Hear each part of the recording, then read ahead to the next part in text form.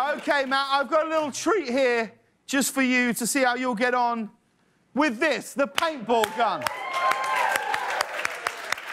Okay. You're going to need you closer to the screen than that, LeBlanc. Don't, don't be thinking. Okay. Hard to prepare for this one. All right, Matt, you ready?